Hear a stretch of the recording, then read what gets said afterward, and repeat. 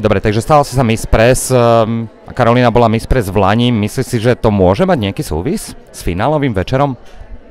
Neviem povedať a nechám to na porotu, oni sa určite správne rozhodnú.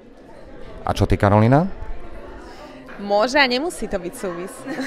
Ale gratulujem eh, predovšetkým Adrianke za tento prvý titul. Je to krásny pocit, ja sama viem, že to bolo veľmi milé, že eh, krátko pred finále v podstate som mala pocit, že OK, že neodídem bez ničoho, že je to milé, že mám jeden titul, že v podstate je to fajn. Takže tak. Máme už len niekoľko hodín do finále. Tréma, strach, alebo už len tak akože je mi to jedno, aj tak už jeden titul mám doma, takže už si idem len užívať večer.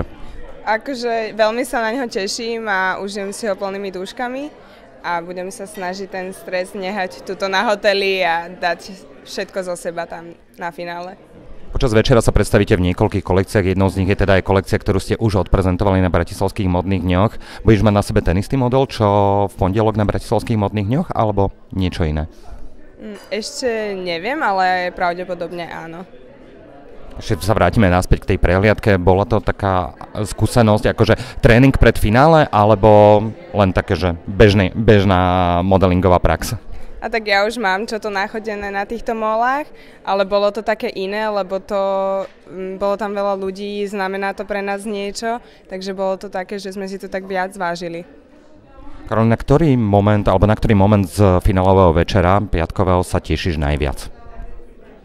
A včera sme mali akurát fitting uh, dlhých šiat a myslím si, že to bude taký, uh, samozrejme teším sa na všetky momenty, ale to bude taký emotívny moment, kedy v podstate uvidím dievčatá posledný krát kráčať po mole predtým, ako sa pôjdeme radiť, čo mne bude nesmierne ľúto, keďže som s nimi prežila 3 mesiace.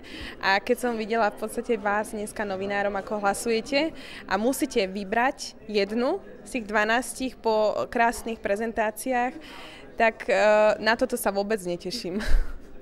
Máš už eh, prvú trojku v hlave, alebo je to ešte predčasné?